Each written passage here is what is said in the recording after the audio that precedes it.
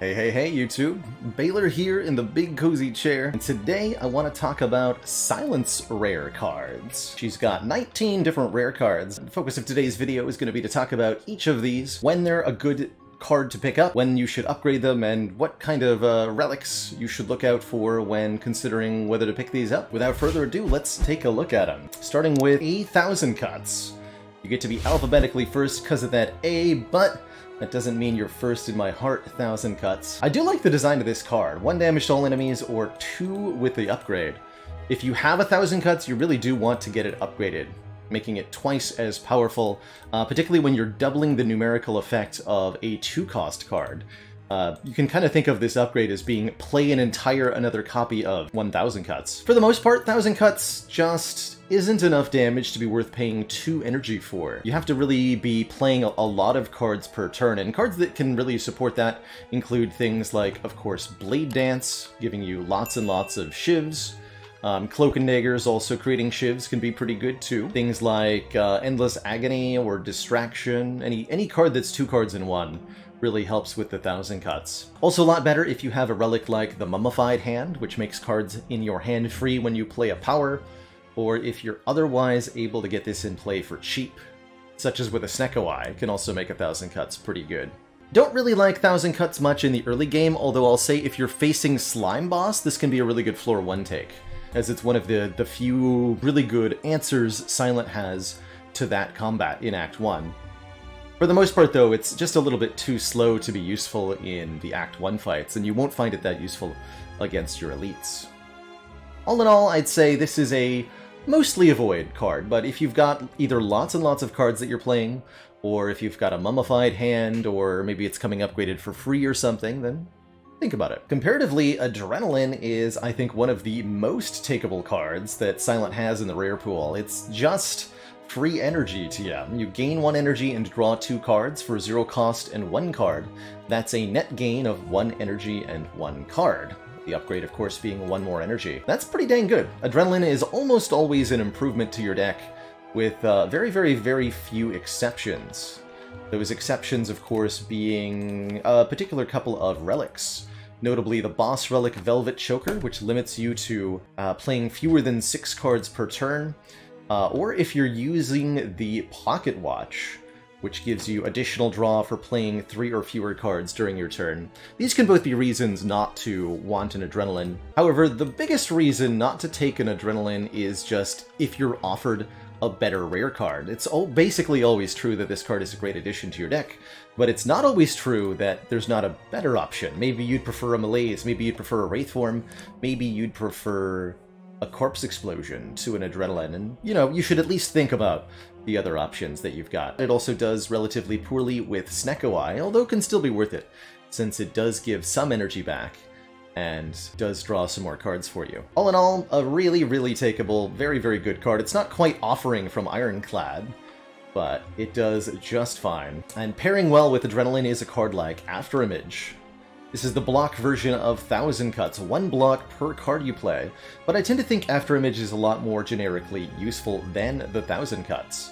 That's partially because it's a one-cost power compared to the two-cost of the Thousand Cuts, but also because I think the block effect is more useful than the area effect damage of the Thousand Cuts, uh, at least at the one-to-one -one basis. This card is very notable for helping Silent block against the Beat of Death effect of Hearts, Heart's Beat of Death says you take damage every time you play a card, and this, well, perfectly counteracts that with the right amount of block.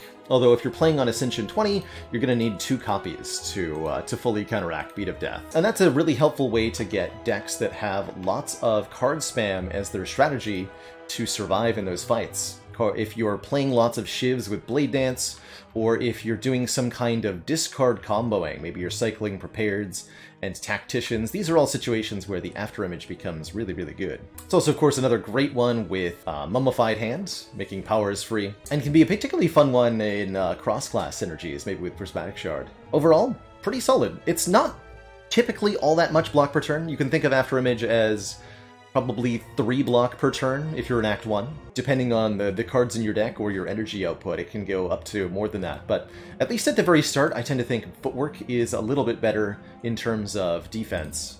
but only a little bit, and it's pretty easy to make after image the better block card. Alchemize. This one's a personal favorite of mine. Alchemize lets you obtain a random potion and then removes itself from play for the rest of combat with that exhaust.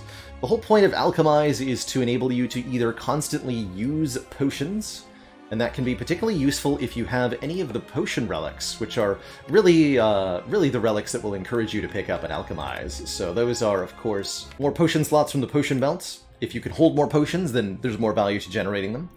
If you heal from your potions with a toy ornithopter, then generating a potion every combat is going to be really, really useful. There's the Sacred Bark boss relic that makes potions more powerful, and that can also be a really good reason to take uh, an Alchemize. Overall, what Alchemize really lets you do is spend a little bit of your resource, one card and one energy, or upgraded no energy, and turn that into a resource that you can take into the next combat. So I like to think of Alchemize as take a small penalty during regular combats, and then have more options available to you during boss and elite combats. That's where Alchemize really shines. It's also, of course, excellent with any kind of exhaust synergy, so if you're getting a new card from, say, Dead Branch, then Alchemize can be really good. Also worth noting that the Ghost in a Jar potion is uh, the silent exclusive rare potion, and can be a, a really big impact on whether your run wins or not if you've got a Ghost in a Jar. Alchemize lets you look at more potions, so increases your odds of finding a Ghost in a Jar, and that's very, very, very, very powerful. The Strange Spoon Relic lets you potentially keep cards that exhaust when played, and I think that's an exceptional interaction with Alchemize. I want to say, generally speaking, that the Strange Spoon combos with the rare cards of most characters, because there are so many exhaust keywords in the rare pool. I think that's enough said about Alchemize. Overall, a, a really good one. I love Alchemize on floor zero, because it lets you fill up the potion slots quickly, I, I tend to like it after the first boss for the constant potion generation as well, but just like Adrenaline, there may be a better option amongst your choices. Bullet Time! This one's cool. I, I struggle to like Bullet Time sometimes, but uh, at times Bullet Time can be a very, very good rare. Bullet Time makes everything else in your hand free, so you can kind of think of this as an energy generating card that gives you energy equal to the cost of the rest of your hand. Now, that can be an awful lot. Uh, the obvious and powerful synergies with Bullet Time are Runic Pyramid, since you accumulate cards into your hand over time, and Bullet Time makes them all free, so you can play all 10 cards and Snecko which draws you a large hand of randomly costed cards. Bullet Time also just makes that entire hand free and lets you play it consistently. The other situations where Bullet Time can be good is if you can get a lot of cards into your hand with some card draw.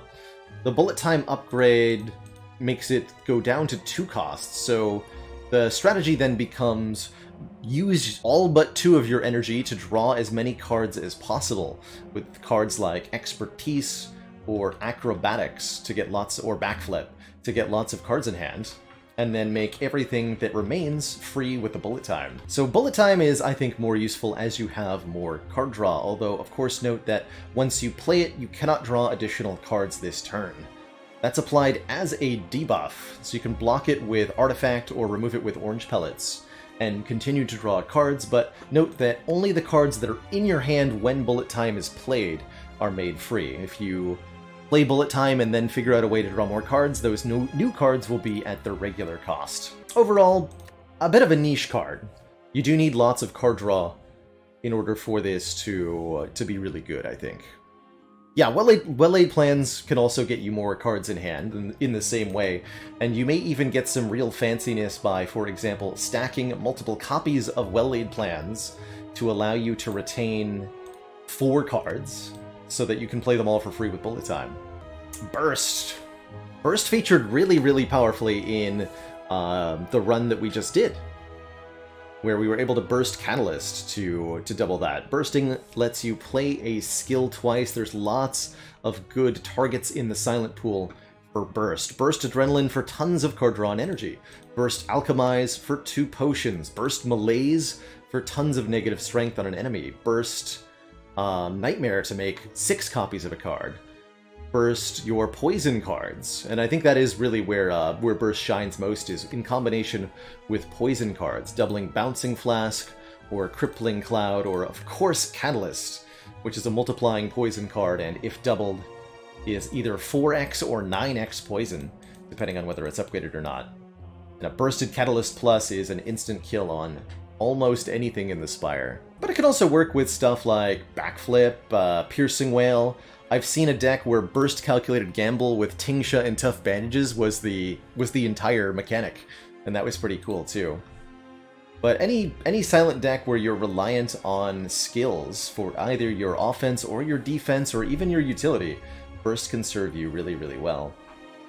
One good target for the burst is, of course, Corpse Explosion. Corpse Explosion's a, a cool silent rare. It's like a... I almost want to call it a hybrid card, because yes, it applies poison, but this secondary effect of doing area effect damage when the poisoned enemy dies is not dependent on having poison at all, or doing any specific amount of damage with the poison. So you're allowed to play Corpse Explosion on, for example, one of the three slavers in Act 2, and then kill that slaver with your deadly, deadly knives, your upgraded glass knife, your upgraded die, die, die, your dagger spray, what have you. And the explode effect of the Corpse Explosion will happily take out the remaining minions on the field. This is all about taking a multi-enemy fight and essentially turning it into a single enemy fight. All you have to do is kill the enemy with the highest HP and all of them will die. You can also do fun things like stack this card, multiple copies, on a low HP enemy and use that to deal lots of damage to a larger opponent. Um, that's a fun use against the Orbs of Bronze Automaton, or against the Torch Heads of Collector in particular. Really like this card. It's, it's great with poison, it's great without poison. Uh, although the two costs can be a little bit difficult. One final note on this card, both the apply 6 poison and the following statement when the enemy dies deal damage equal to its max HP to all enemies, both of those are debuffs, so Corpse Explosion as a card is applying two debuffs to the enemy, and will therefore consume two stacks of artifacts, making it a really useful way to remove those artifact charges from the Spheric Guardian, Donu and Deka, Spire Shield and Spire Spear, and so forth. A very, very good card in particular for Donu and Deka. That's a, a fairly challenging boss fight that gets like really trivialized by this card. The two effects occur in the order that the that they're listed on the card. So poison first, then the explosion effect second. That's true for any card in Spire that has multiple effects. They'll always resolve in the order of the card text. So for example, Crippling Cloud is poison first, then weak to all enemies. Die Die Die, this one's pretty straightforward. 13 damage to all enemies, upgrades to 17. Corpse Explosion has a great upgrade, by the way. Plus 3 poison on a 2-cost card is, is really significant, being more damage than the upgrade on Deadly Poison. This only gets plus 2. And notably doing the damage to the one enemy that you need the damage on since they'll kill everything else when they die. Die is a great straightforward uh, front-loaded AoE card. Silent can really struggle in fights that require you to take down one enemy quickly, like the Three Slavers, like Reptomancer, like Gremlin Leader, and the amount of damage this card does is high enough that it's a, a very solid answer to those those particular combats. I really like it as a, an early game pickup, but it's also just a really nice thing to have going into Act 2 so if you see it after your first boss and there's not many other better options, I really do like it. Die Die Die gets a lot better, of course, with any kind of attack boost. Particularly good with Pen Nib, letting you double its damage, but also maybe Bag of Marbles, any source of vulnerable. Uh, or if you're able to multiply it otherwise, such as with Phantasmal Killer, then it can be pretty good. It's hardly exceptional, it's it's not quite as overwhelming as Immolate on Ironclad, but it is the most damaging AoE attack that Silent has access to, and that's definitely noteworthy. It does struggle a little bit to scale, yes. Where Die does suffer is that it really doesn't play a big role in your late game, since there are relatively few ways to multiply this card. You can do it with Vulnerable and Phantasmal Killer, but that's pretty hard to do. That said, an upgraded Die is still useful right up all the way to the end of the game in Act 4, helping you kill Spire Spear and Spire Shield that much more quickly. Don't negate the value of such cards in that combat. Doppelganger. I think this is one of my favorite uh, silent cards for its design. I like to think of Doppelganger as a, a bad card with a good upgrade. So let me let me talk about that real quick. It's an X cost card that gives you X card draw and X energy on the next turn. So you're essentially carrying your energy over from one turn to the next and gaining one card per energy that you carried over. A lot of the times that doesn't do much, particularly if you draw this alongside a hand of cards where you can spend all of your energy, then the Doppelganger doesn't do anything except be a dead card in your hand. But in a deck that's generating excess energy, it can be a lot more useful, enabling you to have a, a really big hand of cards that can potentially combo together. So I think the things that there are, there are a few factors that, that can lead towards Doppelganger being pretty good. One of them is the upgrade. The upgrade on Doppelganger both increases the card draw and the energy gain next turn. And if you compare this to some of the other upgrades in Slay the Spire, you'll note why it is kind of above the curve. There's a lot of upgrades in Spire that either give you plus one energy, most energy generating cards will upgrade for plus one energy, and a lot of card draw cards will upgrade for one more card scene, like Acrobatics. Here gives you plus one card, Adrenaline gives you plus one energy, and the same is true of the similar cards on the other characters. But there are no cards except Doppelganger that upgrade for both a card and an energy. And so to me that means that this upgrade is extremely high value. One card and one energy for one upgrade is a very good deal, even though it is next turn. Doppelganger is of course also an X-Cost card, so it benefits from the Chemical X Shop Relic, increasing the effective X-Cost cards by two. With a Chemical X, uh, which Silent already wants because she has three X-Cost cards. With a Chemical X, Doppelganger becomes insane, being plus two draw and plus 2 energy, even if played for 0 unupgraded. So I really like Doppelganger with Chemical X. I like it if you can get a free upgrade or have an upgrade to spare for it. And I also like Doppelganger in situations where you have cards that need to be drawn together to work. So I like it with stuff like Finisher, which has to be drawn alongside other attacks and is more powerful the more other attacks that you, that you can play alongside it. Or with cards like Choke, which reward you for having one big turn where you play a lot of other cards. But for the most part, it does does uh, fall into the category of being harder to use and less convenient than the Adrenaline. Let's talk Envenom here. I would like what Envenom does. One poison whenever you deal unblocked attack damage. That's one poison per hit. So a card like Riddled with Holes here, which hits five times, will apply poison five times. And if you have the Snecko Skull Relic that increases poison by 1 whenever it's applied, then Envenom will be 2 poison instead.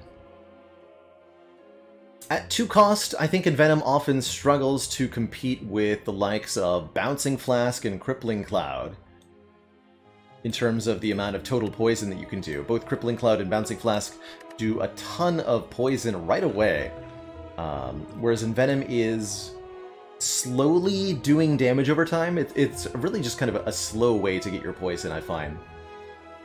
But it can be a really nice way to scale up your damage over time for the endgame, and it does have a few nice little interactions.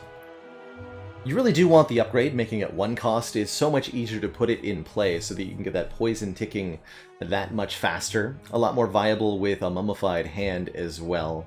And of course, as aforementioned, the Snecko Skull really makes it exceptional. I think a really cool interaction here, Envenom, plus the rare colorless card, Sadistic Nature. Sadistic Nature does damage every time you apply a debuff to an enemy, and Poison is a debuff, so if you combine the Sadistic Nature and the Envenom, you'll be doing bonus damage with every single attack that you play, in addition to the Poison, and that's pretty good. That's pretty good. Other than that, Venom, of course, is pretty good with multi-attacking cards like the Glass Knife, like Shivs, etc. Envenom is my favorite way to take a silent deck that kind of has two separate halves. If you've got attacks to deal with um, short-lived enemies and poison cards to deal with bosses, then an Envenom can be a really cool way to, so to speak, tie those two halves of the deck together and create a unified strategy. Again, it is it is one of the slower poison cards. Not a good card at the start of the game. Unlike Glass Knife, which is an exceptional card at the start of the game. Glass Knife does 16 damage, and then decreases its damage, or 8 damage twice, and then decreases the damage by 2 per hit So next time you play it is 6 damage twice, then 4 twice, then 2 twice, all the way down to 0. This card can do 0 damage. And at face value, this doesn't seem that good. Sure, 16 damage is alright, but it quickly degrades to almost nothing. Important thing to remember with Glass Knife is that most fights don't last very long, and frequently you're unable to play this more than two times. So I like to think of this as 16 and then 12 the second time, but more importantly than that, Glass Knife has a crazy powerful upgrade, upping the damage by plus 4 twice, or plus 8 total damage for an upgrade.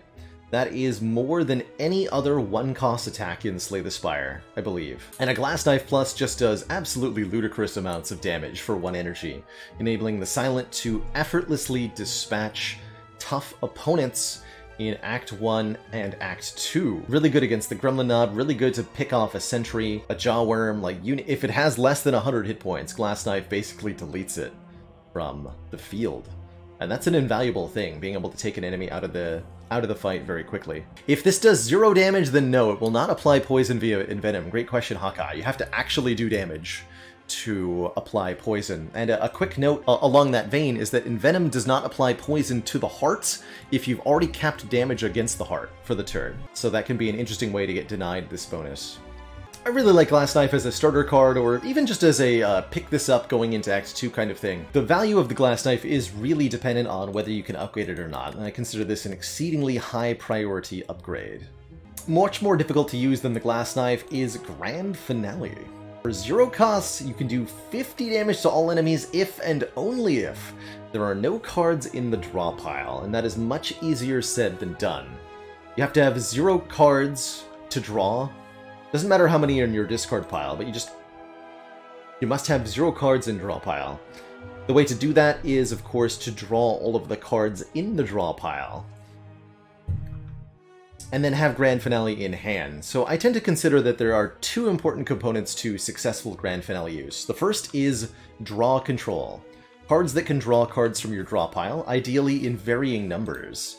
Um, so a couple cards that can draw one card, a card that can draw two cards, like Backflip, a card that can draw three or more, an Acrobatics, or better yet, something flexible like Calculated Gamble, which draws one per card in your hand, or Expertise, which draws you up to a particular total. Both of these can be used to uh, to draw a varying amount of cards to ensure that you exactly line up zero cards in draw pile. Doppelganger can work to that end too. And the second aspect that the Grand Finale needs is retain. You need to be able to hold on to the Grand Finale in your hand so that you can play it when there's nothing left in the draw pile. Well-laid plans or Runic Pyramid can get that to happen. Hey, hey everyone. Did you know that you can now support me directly on YouTube by getting a channel membership? For as low as five bucks a month, you'll get access to perks like custom badges and emojis to use in comments and discounts on the merch store, all while helping support me and this channel to do what I love every day. Just click the join button below to get started. Now back to the video. You can of course also play the grand finale effectively by making a very small deck of cards. If there are only five cards in your deck, then you can just play grand finale for free on turn one. Although that's pretty difficult to do. But in general, I like Grand Finale most in access uh, in decks that have access to retain, and in decks that have access to lots of card draw. Just a quick tip though, be careful. You have to consider all of the different things that can draw you cards, or that can add cards to the draw pile.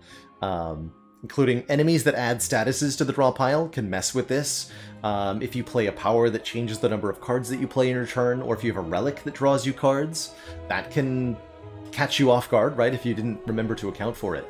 Ink Bottle in particular can prove disastrous because it draws cards in a way that's a little difficult to control. But if you can pull all that off, I think Grand Finale is one of the coolest and most powerful rare cards the Silent has. Uh, one of my favorites to pick up going into Act 2 with uh, well-laid plans, or better yet, with a Runic Pyramid. Yeah, exactly. A card that should either be the main focus of your deck, or you probably shouldn't bother. I think I've had a deck that was, uh, that did secondary Grand Finale once, but pretty weird. Pretty weird. Trom says, you like to have cards that can draw odd slash even numbers, because it's easier to calculate. I like that, yeah. Just focusing on having the right amount. Very much a deck-defining card, that's right. Compared to Malaise, which I think is a very good support card. The other rare X-cost card for the Silent, Malaise, says enemy loses X strength. That's a permanent reduction. They'll they'll lose that strength for the whole battle. And that is exceptionally good for slowing down enemies that scale their strength over time, particularly bosses, as well as just shutting down multi-attacking enemies. This card does massive amounts of work in Act 2 and Act 3 because there are so many different enemies that are really neutered by a strength reduction, such as the Awakened One, the Time Eater, Writhing Mass, Snake Plant, Book of Stabbing, in particular, is uh, countered very well by Malaise, and it's one of the best answers Silent has to the Book of Stabbing. The Three Birds, the Shelled Parasite is quite weak to this, since that's a slower fight, and of course, invaluable against Heart, because this can purge the Heart's strength for one round of multi-attacks. The Heart will eventually remove the strength down, but it won't remove the weaken, which is the second component of it. And that weaken in conjunction with the strength down really makes this a, a deadly effective uh, block card. Love Malaise in any situation where you're able to spend a lot of energy on it. Uh, the upgrade makes it uh, one more, so that's always nice too. Really like Malaise also with the Common Relic Orichalcum which gives you automatic block if you end your turn without any. Six block at end of turn. And if you play Malaise, reducing the enemy's output to almost zero with all of your energy, then Orichalcum can block for whatever's left, which I think is uh, pretty dang good. I tend to think of Malaise as better than Disarm in a lot of ways. The fact that it's um, that it can potentially be more reduction then Disarm is, is quite useful, and they're both single-use cards. The attached weaken is also super, super nice, so Malaise is useful even against uh, beefy single-hit opponents like the Giant Head, because weakening them still reduces the damage output by 25%. Malaise also exceptional with anything that lets you have a lot of energy on one turn. In particular, I'm thinking Ice Cream, which can let you save up energy over multiple turns to spend on one big, devastating malaise, which can completely shut down a boss, for example. Overall, I really like malaise. I think it's a, a great addition. It is a, a defense-oriented card, so you, of course, need to have a, a damage plan for it to really help you out, but it's great. Nightmare. This is a card I used to consider exceptionally powerful, but lately I've found it, it often feels a little bit overkill. Nightmare is a very expensive card, 3 cost upgraded down to 2, that lets you create three new copies of a card in your hand. And the whole idea behind Nightmare is that you can create three copies of a either a very powerful card or a single-use card. Anything that says Exhaust on it is a good target for Nightmare, so you can make lots of potions with Alchemize, lots of card draw with Adrenaline, uh, two of the most popular targets for Nightmare are Wraith Form for lots and lots of intangible, that's pretty much invincibility for a whole fight, uh, and Catalyst, which lets you get so very much poison on one target. But a couple of the things that can also work as targets include Footwork for lots of dex scaling, um, basically any power, multiple after images, multiple noxious fumes. I've even done Nightmare Thousand Cuts before, and that was pretty fun. The Infinite Intangible com Combo. Yes, there are uh, Wraith Form and Nightmare together can, it can form a, an infinite amount of intangible if you work together. If you get two copies of Nightmare, you can use one to duplicate the other and then you can use those duplicated nightmares to continue to copy each other as well as copy other cards. So two nightmares can create infinite copies of any card if you can manipulate the rest of the deck enough. And that can be a thou that can be infinite intangible, that can be infinite potions, that can be infinite money if you can get uh, if you can get your hands on Wish from Watcher that would probably be the most powerful thing you could do with uh, with two Nightmares. But even just within the Silent cards, there's lots of fun targets for that. Nightmare Malaise has been an answer to uh, to many uh, an Act 3 boss for me as well. But a lot of the time, I find that you're often able to win the fight with just the one copy of the card. Especially when it comes to something like Wraith Form or Catalyst. Oftentimes for me, the one Wraith Form or the one Catalyst is fine, and I don't need the three extra copies. Um, but if you're if you're duplicating just a single footwork or something like that, that can be pretty useful. A couple other targets that might be interesting, by the way. Blur is one of my favorites. Lots of copies of Blur can result in being able to retain your block for an entire combat. Um, lots of copies of something like Tactician or Reflex could enable a, uh, a discard deck to to really pop off. Or three copies of Heck Grand Finale on the turn before you draw your last card. Very much a, a card that's too clunky and too heavy to pick up in the early game. Uh, this is very much an, a late Act 2 or, or, or Act 3 card. I generally can't imagine this being too useful before your Act 2 boss. Last thing to note is that Nightmare will copy permanent cost reductions, but not temporary ones. So if a card is temporarily zero cost from, say, Mummified Hand, and you make copies of it, the versions you get next turn will be at their regular cost. However, if you duplicate a card that is zero cost from either Snecko or from Madness, then the Nightmare will create zero cost copies. And that can be really powerful. Nightmare and Snecko are exceptionally strong together. And that's a very much good example of a time where Nightmare sh should be an easy pick, is with Snecko Alright, Phantasmal Killer. This is one of the cards that got a buff in the 2.2 patch, wow, nearly a year ago now. It's now a one-cost card with an upgrade down to zero cost of next turn your attacks deal double damage You can kind of think of it as one turn of wrath, but there's there's also no downside to it, right? You don't take double damage, which is kind of cool. Or oh, yeah, or two weeks ago on iOS, that's true, so it's still a, a new change for some players. That's pretty exciting. Phantasmal Killer is a, a, little bit awkward, but if you can get it to work, I think it's a, a really powerful way to scale Silent's physical attacks um, being exceptional with stuff like Glass Knife, um, with Grand Finale, with Die Die Die, with Skewer. If you are playing a bunch of attacks, and particularly if you already have some way to scale your attacks, such as Vulnerable with Terror or any relic that gives the Silent strength, then a Phantasmal Killer is worth thinking about. Like all next turn effects, Phantasmal Killer gets a bit better if you have access to some kind of retain, be it well-laid plans or runic pyramid, just anything that can guarantee that you draw attacks on the next turn, because that is of course the risk, right? If you play this card and then the turn afterward you don't draw any attack cards, you don't get to do anything with it. And that is a sad time. Highly recommend Phantasmal Killer with something like Burst, by the way, if you play multiple copies of Phantasmal Killer, their duration will stack, so two Phantasmal Killers becomes double damage on your next two turns, and three becomes three turns, so on and so forth. I think it's surprisingly good early game pickup. Right at the start of the game, the Silent is entirely dependent on physical attacks, and a Phantasmal Killer fits in pretty well now that it's only one cost. All in all, I think a little bit uh, one of the more awkward cards for the Silent, but definitely worth picking up sometimes these days. Storm of Steel. I think one of my most maligned silent rares. This also got an upgrade in the 2.2 patch, going from 2 cost down to 1 cost. The upgraded is still... Uh, what Storm of Steel does is discard every card in your hand and gives you a Shiv, or upgraded Shiv, to replace each one that you discarded. Real problem with Storm of Steel is unfortunately that one Shiv per card in hand is not a good deal, generally speaking. To evaluate whether Storm of Steel is a reasonable addition to your deck, I think a simple question you can ask yourself is this.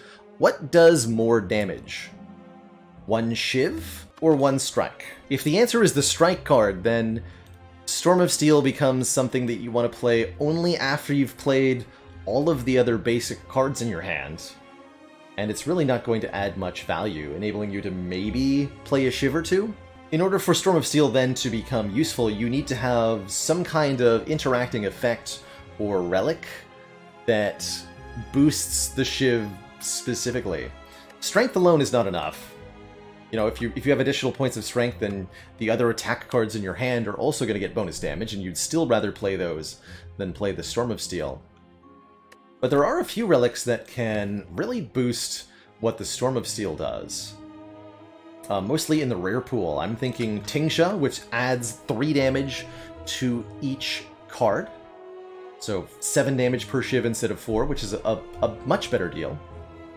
Um, Tough Bandages gives you 3 block per card discarded. That can be pretty sweet.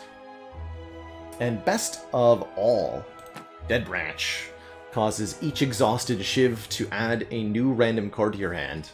Dead Branch alone makes Storm of Steel into a very exceptional card to add to your deck because it becomes for one cost, make a bunch of shivs, and entirely reroll your hand. It can also be very useful if you have any of the attack relics, the Shuriken, the Kunai, the Ornamental Fan, or of course a copy of Accuracy to boost the damage of your shivs. These can all uh, increase the value of Storm of Steel, but, but barring the Dead Branch, I tend to think you need multiple things in Storm of Steel's favor for it to be good. That makes it not good at the start of the run.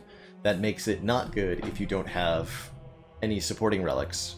And that's right, the Wrist Blade, which boosts the damage of zero cost attacks, can also help quite a bit too. The upgrade really doesn't feel that much, feel like that much. Two, two damage per card. I think a good comparison for Storm of Steel is the Ironclad card Fiendfire. And looking at the two side by side, I think it becomes really apparent why Storm of Steel is get kind of gets the short stick. Both remove your entire hands and do damage per card, but Fiendfire does at by default 7 damage per card instead of 4, and I think it's easier for the Ironclad to get exhaust interactions than it is for the Silent to get uh, boosts to the shivs from Storm of Steel. It's just kind of behind the curve. Now, if Storm of Steel gave upgraded shivs right away, I think I'd be more interested in it. But it just doesn't do enough damage per card, really, to be a, a good deal currently. There are some kind of wonky interactions you could maybe do by discarding Tactician or Reflex. In practice, I think those are very difficult to make happen with a Storm of Steel, because you have to discard everything, right? You can't just discard one or two cards. And for that same reason, it it's, doesn't work with some other cards you'd like it to work with, like Finisher, for example. Dealing 6 damage for each attack played this turn, if only you could keep this in your hand. If only. One other kind of cool interaction is the Unceasing Top Rare Relic, which rewards you with card draw for emptying your hand, although this is a little unreliable too, because what if you draw a card that you can't play, like Ascender's Bane, or a Wound, or who knows what. Still, it's worth thinking about. So there's some reasons you might want to take Storm of Steel. There's lots of reasons you don't want to take Storm of Steel, but it's got at least some utility. Alright, last three real quick here. Tools of the Trade. It's the silent card draw power. Everybody's got one. Silent's 1 gives you draw 1 and discard 1 each turn. You don't actually get any more cards in your hand, but you get to look at one more card each turn. And that's pretty useful, especially if you have other cards that interact with discard effects, like a Tactician, like a Reflex, like a Sneaky Strike, or like an Eviscerate. Um, the tools of the trade could be really, really useful. It's also probably the best way to activate the Hovering Kite unique boss relic for the Silent, which is one energy each time you discard uh, the first time you discard a card. Discarding one card right at the start of every turn is optimal for lining that up. I really like that Tools of the Trade is a power that upgrades to be free. These are relatively few and far between in Spire, and shouldn't be disregarded. Uh, being able to make a, a power one cost cheaper is very, very useful for getting set up more quickly. This of course becomes great with, say, a Mummified Hand or with either of the discard relics, but often gets, I think, a little overshadowed by some of the other rare cards on offer. Tools of the Trade also worth noting as a discard card that's quite useful with the Runic Pyramid, since it allows you to discard a card each turn, uh, enabling you to get rid of otherwise unplayable cards that would clog your hand. And for the for the Watcher's uh, draw power, I think I would qualify Study as the as the draw power here, giving you these insights that uh, that draw two. That averages out to one card draw every turn. It's definitely a weird way to get there. You could also consider Rushdown, although I think that's not quite the same. Um, comparing to, say, Brutality on Ironclad, as opposed to Dark Embrace, right? One card per turn, not one card whenever you want from, from Dark Embrace. Unload's weird. Unload seems like a card that's trying to do two things pretty well, but it does neither of them usefully. 14 or upgraded 18 damage is pretty decent. You know, there's not a lot of attacks that, that can do that much. Uh, unfortunately, it gets overshadowed in this regard by Glass Knife, which does just way more damage for the same price as the Unload. And the Unload also discards all your non-attack cards. In theory, this allows you to discard things like Reflex and Tactician, enables you to set up an Eviscerate play, or maybe enables you to create hand space, but in practice I often find that Unload is discarding cards that I want to retain with my well-laid plans or my runic pyramids, such as my Apparitions, my Wraith Form, my Catalyst, my block cards, any of that. And because you're not allowed to pick and choose which cards you discard, uh, Unload will often end up getting rid of stuff that you wanted. That makes it pretty awkward. It is true that sometimes Unload can be useful with the discard effects, again, most frequently with discard relics like Tough Bandages or Tingsha, but mostly I just find it to be a pain in my butt. And that means that Unload is a, a rare card I, I very infrequently find myself taking. It is totally fine on floor 1, just for the front-loaded damage that it provides, but again, outclassed by the Glass Knife and the Die Die Die in this regard. So unless you don't have a better damage option, or you do somehow benefit from this discard all non-attack cards in your hand effect, then you probably don't want the Unload. What you probably do want is good old Wraith Form. This card used to be 4 intangible, with the upgrade. Currently two intangible upgrades to three. That's two or three turns of outright invulnerability. Wraith Form is one of the most powerful defensive cards in the whole dang game, I think, and probably the most widely useful of Silent's Rare Pool. Basically allows you to completely ignore what your opponents are doing and focus on your own plan for a couple of turns. And I think that Wraith Form is more, most effective in decks where you can use those couple of free turns to maximal effect. That means either doing tons and tons of damage, often with poison. Catalyst and Wraith Form are best of buds. Um, you can also spam attacks during those free turns, or playing a bunch of other powers and getting set up in some fashion. For example, Nightmaring uh, a block, uh, footwork, or uh, a fumes or something.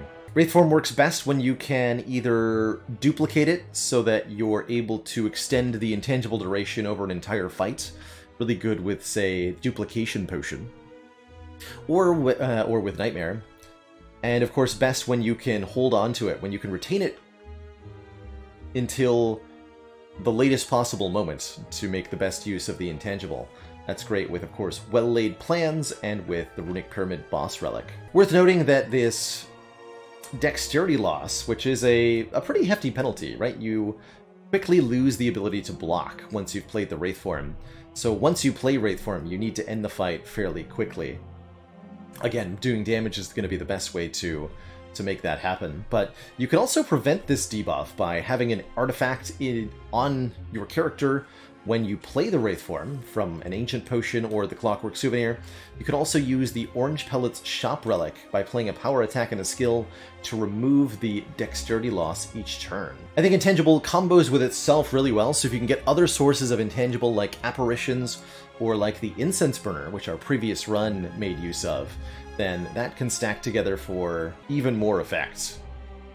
I do think intangibility is is much better when when masked, so to speak. The more you have, the better it is. But overall, a very, very exceptional card. I'll take Wraith Form probably 80% of the time that I see it. The 3 cost can be a, a real problem, and if you if you have a really good block plan already, you may not need the Wraith Form. For example, if you've got upgraded footworks or multiple after images or you're um, another good situation where you may not want the Wraith Form is if you have the Paper Crane Relic, causing weakened enemies to only deal 60% of their normal damage output, then blocking the rest with Intangible might not be as valuable. But overall, it's an exceptional card, and I think one of the best, if not the best, of the silent rares. So there you have it. That's my those are my thoughts on each and every one of the the silent rares. If you liked this video, please throw me a like below and let me know in the comments which of the silent rares is your personal favorite. Hope you enjoyed this video. Thanks so much for watching everybody. I'll catch you all next time. And ta-ta for now. Hey, hey everyone.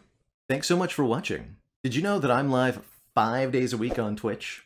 Come join us to watch me live, ask questions, or chill with the community.